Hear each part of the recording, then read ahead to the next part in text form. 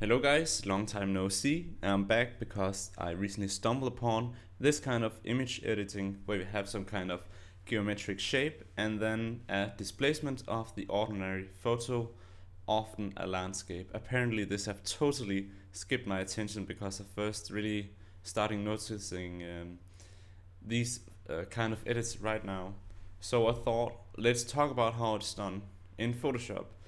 Now you can say um, here we are in Photoshop, it might be really easy just to create a shape, rotating it, done, um, almost. Uh, but I think there's more to it and we could do it in a much, much, much smarter way and let's talk about that.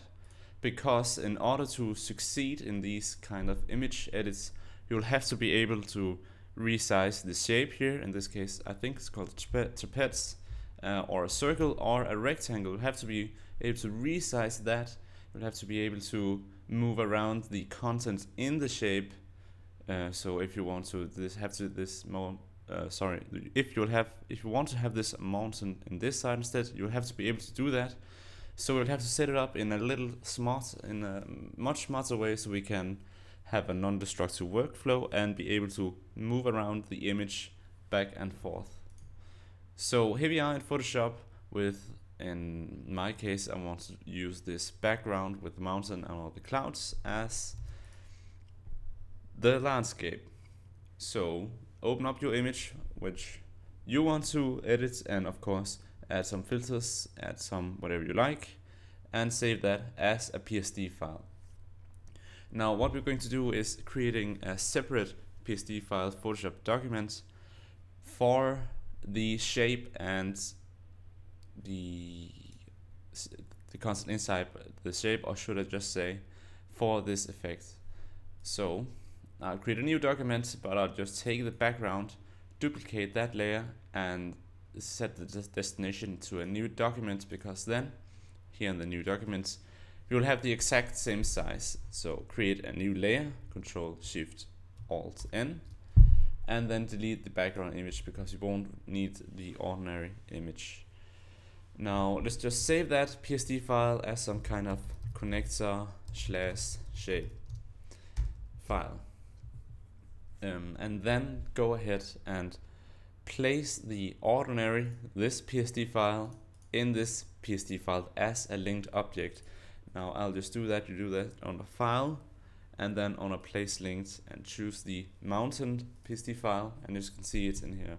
If you don't know what a linked uh, embedded, sorry, a linked smart object is, um, let me just set it in uh, embedded.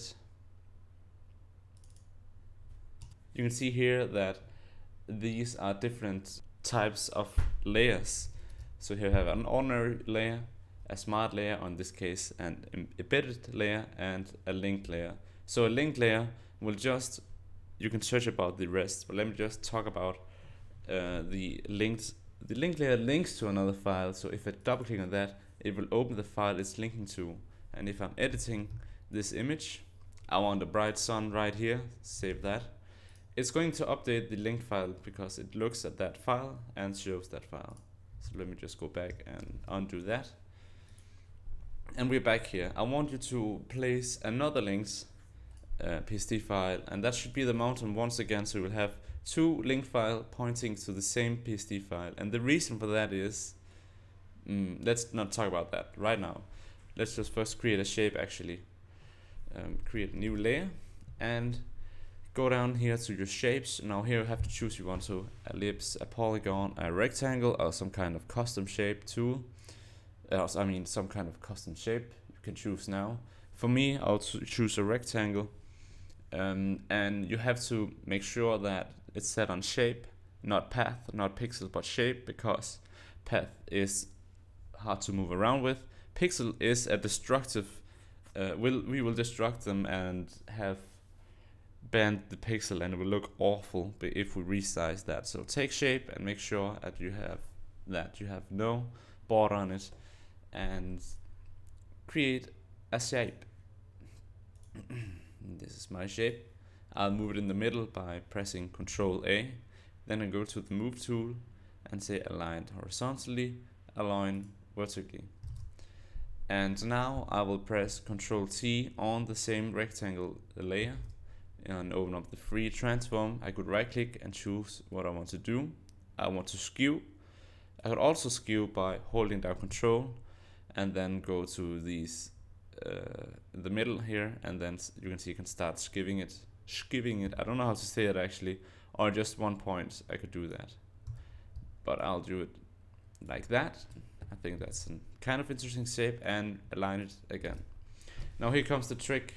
Take one of the linked objects move it above the shape and then create a, a clicking mask clipping mask if you don't, don't know what that is you need to uh, close the, this video now and search for a clipping mask. You can also get a clipping mask by holding your mouse between the layers and holding down alt and you will see this icon pops up. Click and you will see this arrow. Now what that means is of course you know this by now uh, it, the that this image can only exist exist on the whatever content is below so in this ca case it can only exist on this shape.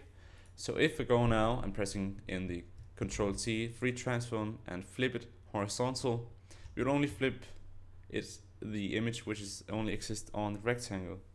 I could also flip it uh, vertically. And you'll see we kind of did the effects right now. But if we did it uh, the way I showed you in the start um, we would be finished. Um, there was no going back there was no resizing this layer. And you can see it's not quite there yet is it? I don't think it's finished yet because it needs some kind of extra editing.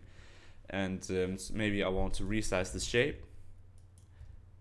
Up here. Now as you can see that's possible. I can stretch it without losing quality. And I have my whole image just popping out like that. Um, I can also resize the image. Really small really big and it doesn't lose quality. As you can see I just stretched that.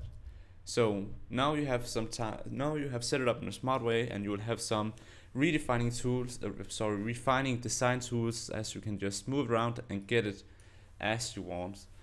Um, now that seemed a little bit messy didn't it? Yes it did. I agree on that. But if we want to come back and say oh I got the shape just right. I got the placement of the content in the shape just right.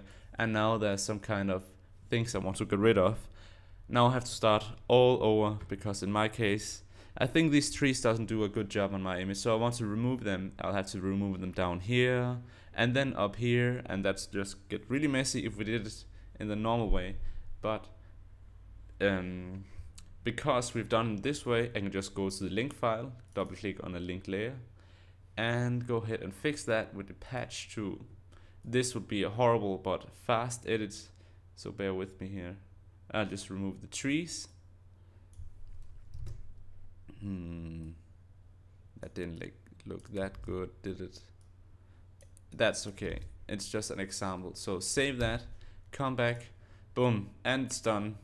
The trees gone here and the trees are gone up here and you can see by doing it this way you can also come back you can always come back and forth um, to create what you want but the last step to achieve this effect is that you have to align it in some ways uh, the best example is here. You can see the circle would actually overlap the mountain here so you'll have to render out the mountain and then make a layer mask to uh, hide the, the circle. Let's do that in a minute. Or fade it out. As you can see here it's kind of fading out uh, from top to bottom. So the way you do that is creating a layer mask on the shape and start deleting some of the shape uh, you should also know that how to how layer mask works. Um, I'm not going to cover that in this tutorial but if you don't know it find out. So of course get your uh, brush tool and start painting with black and with a fading black if you want it to fade. And you can see here that kind of looks the, looks like the tree image or you just hide the path layer for a second go in, grab your whatever tool you want to render out with. I'm just going to get the magnetic lasso tool because I need to get it done quick. Oh shit, I made a mistake. I made multiple mistakes. Uh, I would really, really prefer the pen tool, but there's no time right now.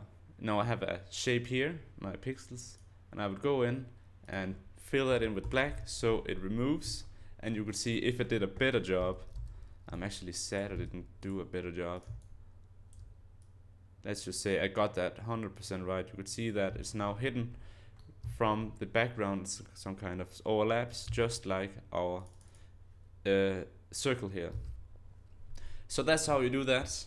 I hope you found that useful. Let me know what you think in the comments below. And remember, if you have any questions about other Photoshop uh, effects, tricks, or help, comment in the comments, and I will we will take a look at how it's done. Thank you. Bye.